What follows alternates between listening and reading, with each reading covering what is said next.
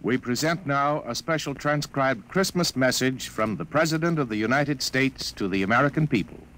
My fellow countrymen, all over our country and in many other parts of the world, men, women, and children are preparing to celebrate the birthday of Christ. Never before in our lives has a Christmas seemed so important. I'm not thinking of turkey dinners and stacks of gifts. I mean the quiet, reverent celebration of faith, hope, and love born in a manger in Bethlehem.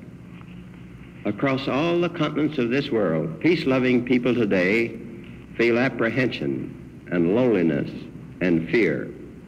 Many have forgotten the humble surroundings of the Nativity and how from a straw-littered stable shone a light which for nearly 20 centuries has given men strength, comfort, and peace, peace of mind. At this Christmas time, we should renew our faith in God. We celebrate the hour in which God came to man. It is fitting that we should turn to him. Many of us are fortunate enough to celebrate Christmas at our own fireside. But there are many others who are away from their homes and loved ones on this day. Thousands of our boys are on the cold and dreary battlefield of Korea. But all of us, at home, at war, wherever we may be, are within reach of God's love and power. We can all pray. All of us should pray. We should ask the fulfillment of God's will. We should ask for courage, for wisdom, for the quietness of soul which comes alone to them who place their lives in his hands. We should pray for a peace which is based on righteousness. The nation already is in the midst of a crusade of prayer. On the last Sunday of the old year, there will be special services devoted to a revival of faith in God. I call upon all of you to enlist in this common cause. I call upon you no matter what your spiritual allegiance may be. We're all joined in the fight against the tyranny of communism. Communism is godless. Democracy is the foundation of faith. Faith in oneself, faith in one's neighbors, faith in God. Democracy's most powerful weapon is not a gun, a tank, or a bomb. It is faith. Faith in the brotherhood and dignity of man under God. Let us pray at this Christmas time for the wisdom, the humility, and the courage to carry on in this faith. Ladies and gentlemen, you have just heard President Truman's Christmas message to the American people. This is NBC, the National Broadcasting Company.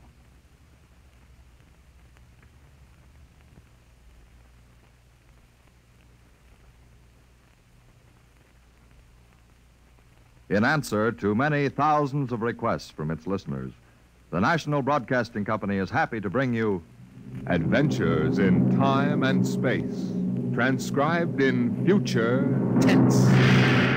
Dimension X.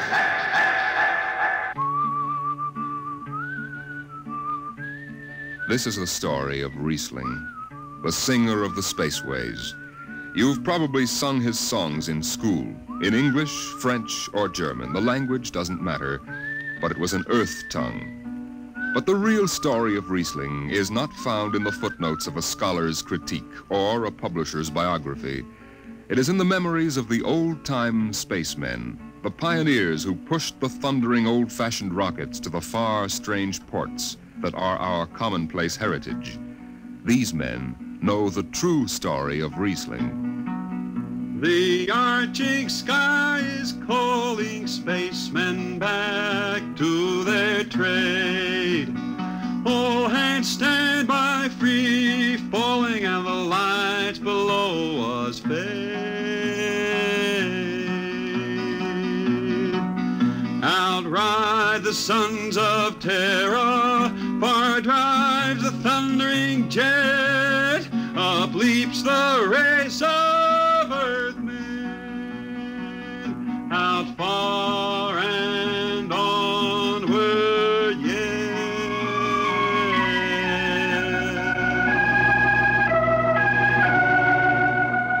When I first met Rhysling, he was hustling drinks in the Twin Moons Bar at Drywater, Mars. He'd won a guitar off a Chinese barkeep at Luna City by cheating at one thumb, and he made his whiskey by singing in the bar and passing the hat. Listen to her, Hudson. Don't she strum pretty?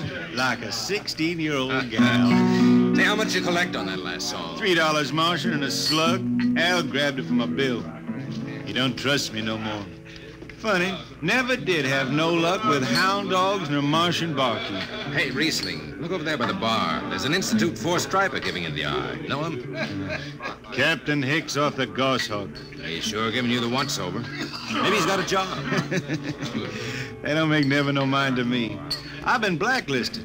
Hicks logged me for making up a song on watch. Right fine song, too. Uh, hold it. Here comes the brass arm. Uh, Rhysling, uh, I've been looking for you. I've been right here, Skipper. You saw to that. I need a jetman on the Goshawk. Interesting. Real interesting. Well? I got news for you, Skipper. You blacklisted me, remember? Well, you kept your nose clean, and uh, we need an experienced man. Been a little changing down aft in the Goshawk, ain't there, Skipper? How'd you know that? You got that new atomic pile drive. Last three of them tea kettles blew somewhere in the asteroids. Look, it's double pay, but if you're scared. Scared? Listen, fella. For double pay, I'd jump off the top of the Harriman Tower if you allowed me rubber heels for the landing. All right, then. You show up tonight to sign the book. Sober. Got no choice, Skipper. Money and me is total strangers. We lift at 11.30 Mars time.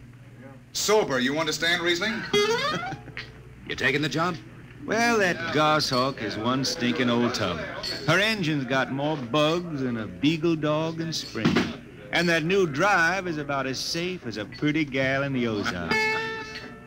But I reckon she'll do for one more trip.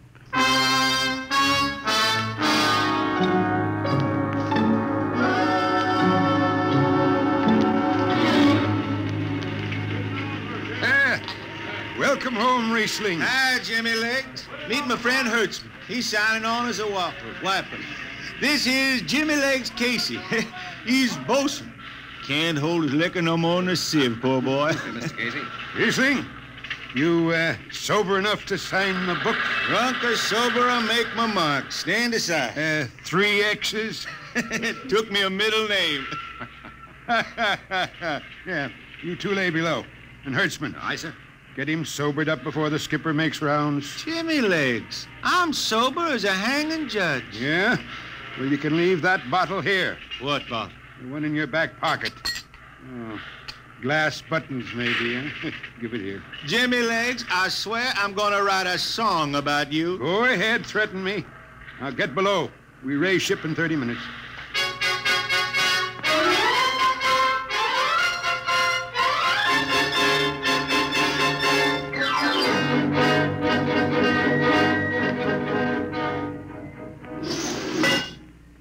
Skipper. Rhysling, what the devil are you doing up here on the bridge without permission? Figured I'd take a little stroll. Rhysling, get below No, before no, no, I have... hold on, Skipper. You'll have that gold braid just crawling up your arm. I'm up here on business. Well, That number two jet ain't fit. Cadmium dampers are warped. why tell me? Tell the chief engineer. I did. He says they'll hold. Well, He's wrong. he's wrong. He's got a Harriman Institute degree in power electronics. And some drunk space rat says he's wrong. Skipper, I was damping jets when that shirt-tail tad wore pins for buttons. I've got no time for you, Rhysling. Casey, sound takeoff. Aye, sir. I'm telling you, Skipper, that number two jet's gonna blow. Dampers warp crooked like a turtle's back. Rhysling, drag your deadhead out of here. Get below. Go ahead from the control tower, Captain. All right, Casey. Fire one and four.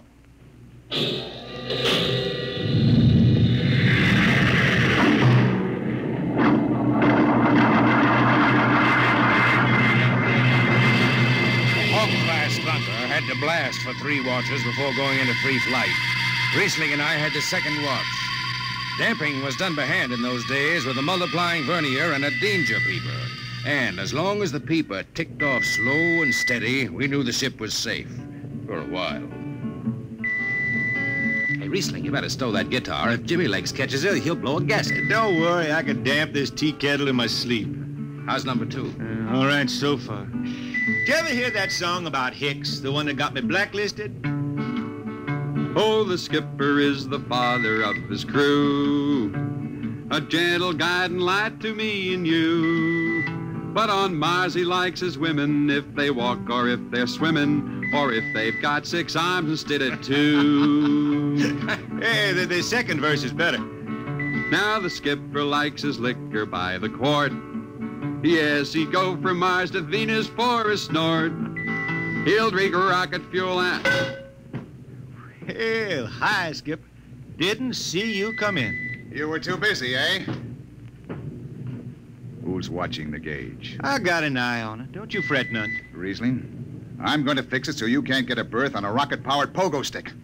Report to Casey under arrest. I don't rightly think I will. You what? You kind of forget, Skipper. According to Space Code, you can't remove a jetman till the end of the watch, right? Now look, you corn-fed space lawyer. Now, is that a rule or ain't it? Rhysling, your shift is over at 2300. And I'll see you ride the rest of the way in slop locker. Maybe. Maybe. In the meantime, you clear out of my power room. I gotta make me up a third verse for my song.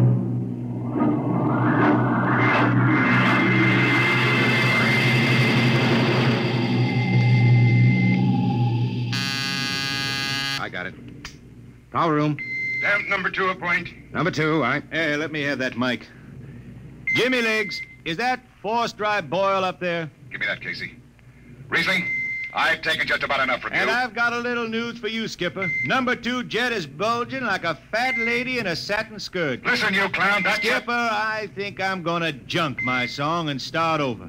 I can do much better This on is the last time, Rhysling. Damp number two a point. Uh, sure. Look out, Hertzman. I'll take it. You watch the gauge. Now. Riding easy here. She's bucking a little. Rhysling, hit the emergency. Ah, she won't damn. It's that more. There go the lights. Look,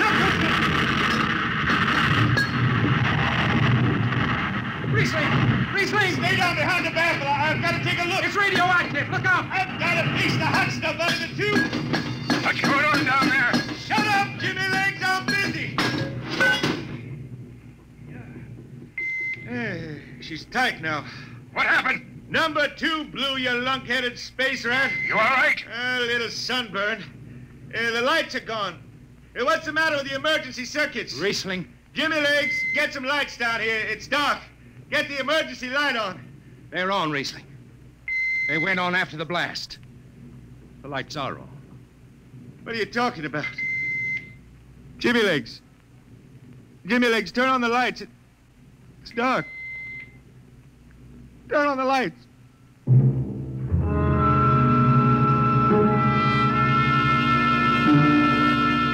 That blue radioactive glow from the jets was the last thing Rhysling ever saw. His optic nerve was burned out in an instant. He was in sick bay on the rest of the trip, and on the swing back, we set Rhysling down at dry water Mars. Look out for the cable, Rhysling. Thanks, Hertzman. Hey, Rhysling, That you, Jimmy Legs? hold up a minute, will you? Oh, uh, Rhysling. Jimmy Legs, I promised I'd write a song about you, didn't I? Sure, Rhysling, sure. Can't seem to sing like I used to. Uh, look, Rhysling, uh, the men up on the bridge feel kind of bad about this. Yeah? Why didn't they think of that when Rhysling told them that damper was shot? Now, Hertzman, that's all over. Sure, sure. That's all forgotten. Rhysling, let's, let's get out of the Twin Moons before I vomit. Now, hold it, hold it. The skipper feels pretty bad about the whole thing, Rhysling. Kind of late for that, Jimmy Legs. Feeling sorry don't hold no corn. The boys passed the hat. The skipper kicked in half a month's pay. Did he now? Then on principle, I suppose I ought to tell him to stuff it back up the jets. But you can't buy no drinking whiskey on principle. I'll take it. Here you are. Uh, I'll get it. Yeah. I'll be seeing you, Rhysling. Sure, Jimmy Lee. Sure.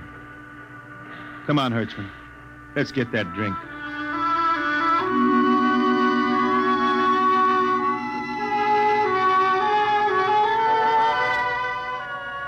Was all. Just another space bum who didn't have the good sense to finish before his luck ran out. Well, Rhysling holed up at the Twin Moons till his money was gone. Then he hooked a ride on a crawler over to Marsopolis. It was a boom town then, with an industrial district mushrooming between the Lesser and Grand Canals. I ran into Rhysling about two months later, playing his guitar on a jetty that ran out into the canal. He had a dirty rag tied over his eyes with a jetman's knot, and his hat was on the wharf beside him. Rhysling! Who's that? Wait a minute. Hertzman. Yeah, how you been? Passable. Say, is this a Venusian dime? Ah, it's a slug. I figured. Well, how's it going? Singing again? Some. Working saloons mostly. But I've been thinking some funny songs, Hertzman. The words come out different than they used to. Come on along the canal with me. Sure. Uh, here, take my arm. I know the way. That's a funny thing, Hertzman. I figure I know it better than other folks. Look back there, t- towards the city. What do you see?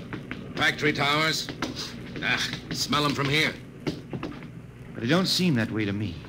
I remember them old buildings, old before Bible times on earth. Thin and graceful like the fairy palaces my Grammy used to tell about down home in the hills. They've torn them down now, or else blocked them up with cinder bricks. Hertzman, when I stand out out here on the canal, I can see it the way it used to be. The water, ice blue with the stars shining up out of it.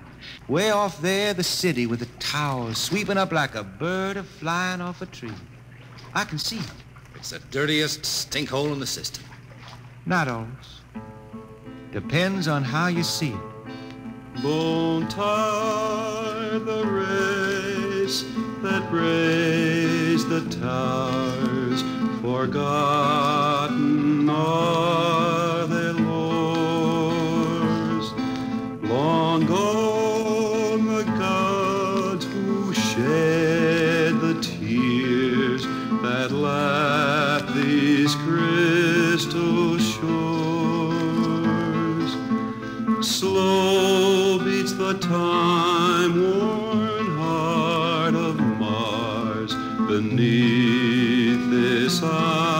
icy sky. The thin air whispers voicelessly that all who live must die.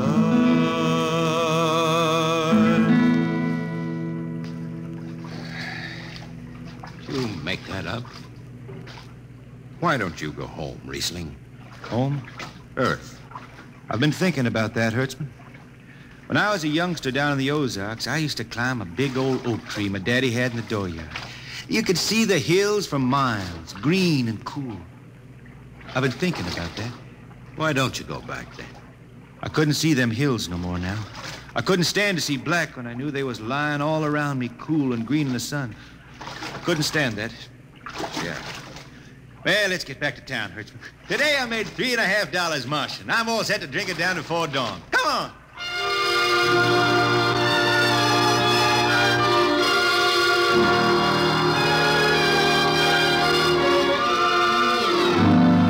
I lost track of Rhysling after that. I shipped out on a slow freight of the Condor class for Luna. and He hitchhiked a ride to Venusburg on an ore ship in the Triplanet run. So he beat around the system, Venusburg to Layport to Drywater to New Shanghai and back. Any spaceport was his home, and no skipper had refused to lift the extra mass of Rhysling and his battered guitar. He made up his songs, sitting out watches down in the power rooms with old shipmates, while the monotonous beat of the jet shook the hull plates. Hear the jets. Hear the jets. Hear them snarl at your back when you're stretched on the rack. Hear the jets. Feel the pain in your ship. Feel the strain in your grip. Hear the jets. Feel her rise, feel her drive, strand steel come alive on her jets.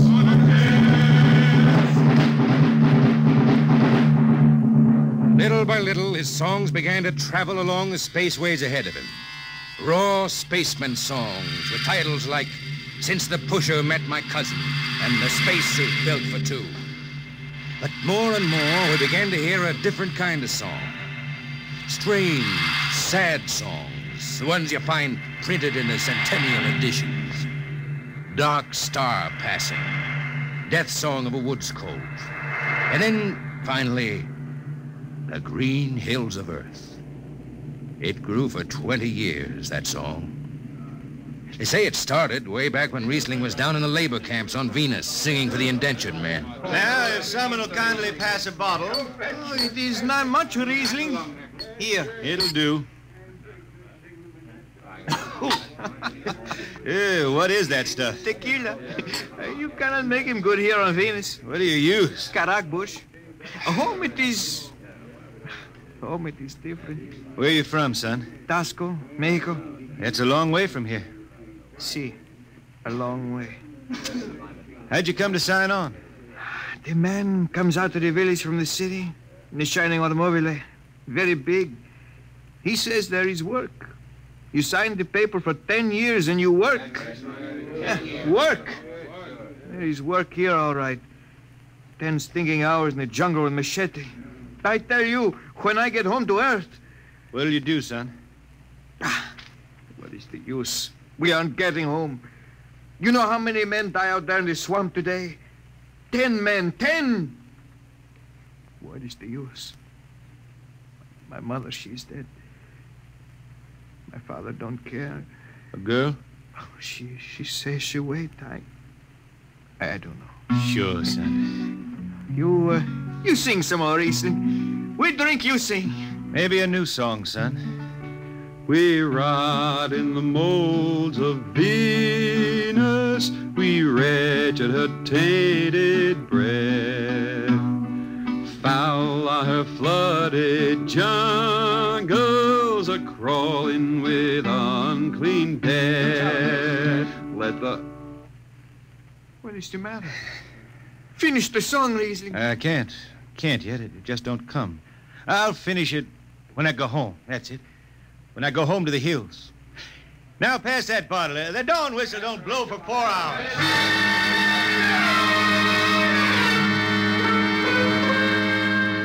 That's where the Green Hills started.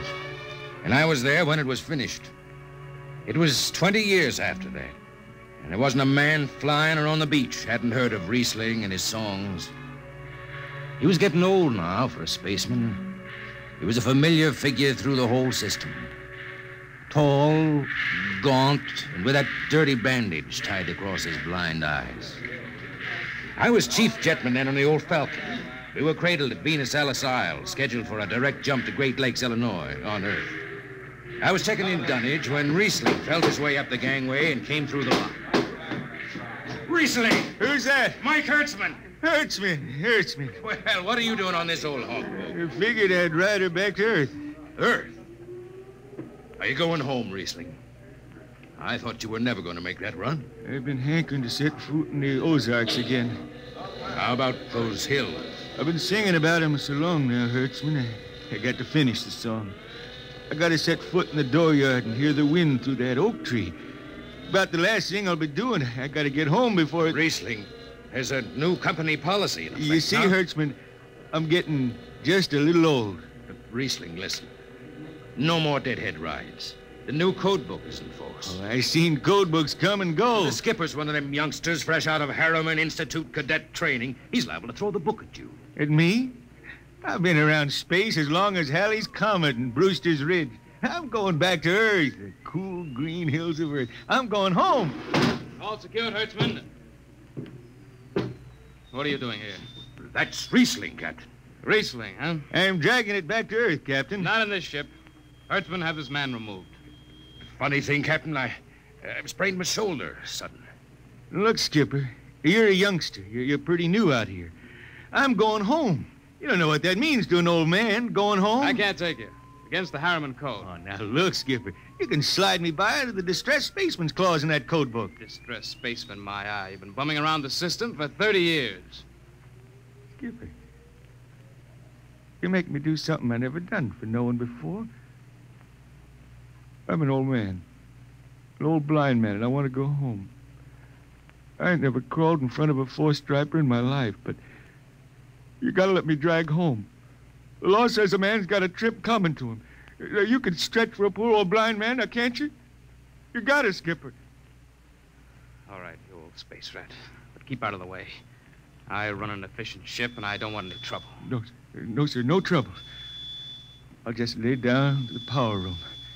I kind of like to be near the jets when they blast off for Earth.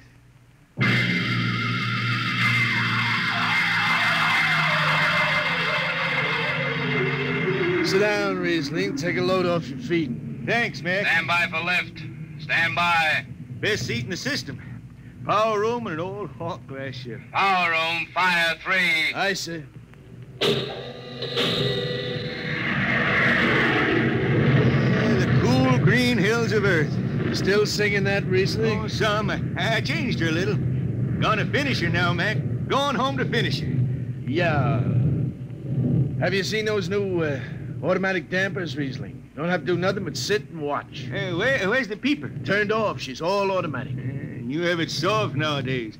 When I was twisting her tail, you had to stay awake. You got an old hand damping plates on? All but the links. Iron shipped them. They cover up the dials. You might need them. No, the automatics handle everything. Well, you finally going home, Rhysling, huh? Won't seem the same out past the moon. I've been waiting for this a long time, man. Gonna be good to get home, I reckon. The arching sky is calling spacemen back. Mac! Hey, Mac, you all right? I, I, I got the emergency. The hand dampers, where are the links? Mac, Mac, you gotta be on the wall here somewhere. I, I got him. Power room, what's the alarm? Emergency squad coming in. Stay out, the place is hot. Radiation blast. Stay behind the baffle. I got the link shift. I, I can hand damper now. What's going on in there? I'm still in Jet 3. Is this McDougal? McDougal is dead. This is Rhysling on watch. Rhysling, get out of there. You'll kill yourself. Don't worry, Skipper. I know this power room like the inside of my shirt. Somebody's got a damper. Riesling, I'm sending in a crew. Uh, no, no, no use. The whole room will be hot for an hour and the other jets won't hold. Skipper, throw on the recording tape. What? Throw on the recording tape. I want to get something down. Tape's on, Rhysling. Stop it, Rhysling. The radiation will burn you down. Yeah, I reckon. Yeah, pretty sharp sunburn. Pick me out of here with the tongs and bury me in a lead shield coffin. Uh, okay, Skip. She's clean. Yeah, radiation's getting brighter. I can almost see it. Bright, rosy like the sun. Like the sun over the hills down home. I got my song figured right now. Here it comes. We pray for one last landing on the globe that gave us birth. Let us rest our eyes on the fleecy skies of the cool green hills of earth. I can see him now. The hills. The sun. I can see the sun. That's the way he died. Rhysling, the blind singer of the spaceways, singing of the home he never reached, the cool green hills of Earth.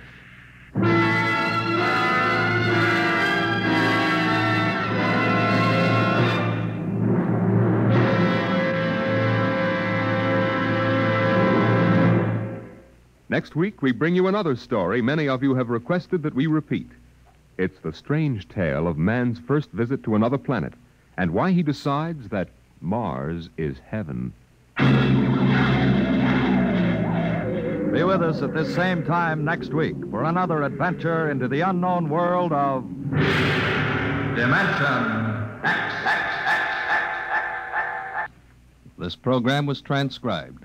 Now, dynamic Tallulah Bankhead brings you the big show on NBC.